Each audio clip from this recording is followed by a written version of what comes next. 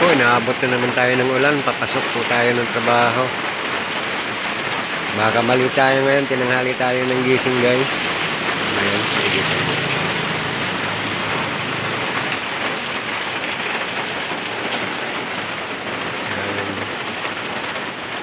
Ulan na naman. Inabot pa tayo dito. Tinanghali po tayo ng gising. Napasarap ng tulog. Linipat na namin yung ah, scaffolding. At ayan po. Ito po yung ginawa namin kahapon. Ayan, makikita nyo. Dati nandito yan sa tapat. Tapos ngayon linipat na namin doon. Sa may kanto ng building. Punta na po tayo dito. Ayan, sa likod. Ngayon, tatapusin namin to pag kakabit ng scaffold para ah, mapinturahan na din natin yung side na ito. Ayan.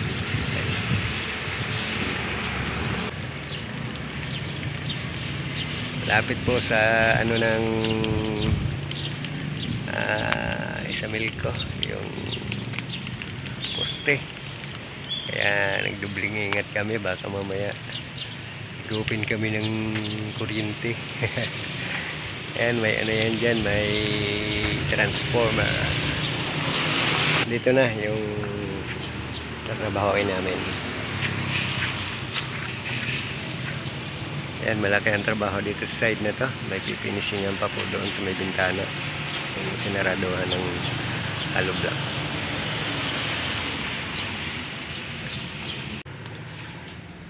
Ayan po, ah, kahapon nasimula na po paglalagay ng po, ano ng division. Ayan, mayroon na pong mga kahoy na nakabalagbag yan. Ah, sila Forman dito ang gumawa. Tsaka si Romnick.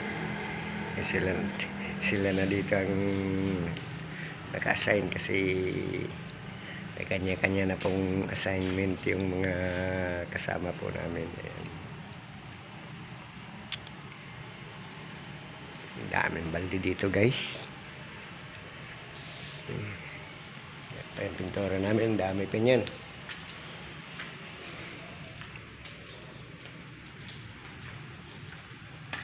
Ito naman yung hinakot namin kahapon ng umaga. Stonework. Anong klaseng bato to? At ito naman yung mga bagong dumating na mga unan ng taga CDRR mo at ito yung mga kotsyon. Ayan, may mga bagong dumating kahapon. Ayan, dami. Unan ba to? Unan nga, lalambot. Ayan. Hindi yata bago. Linipat lang yata dito sa taas.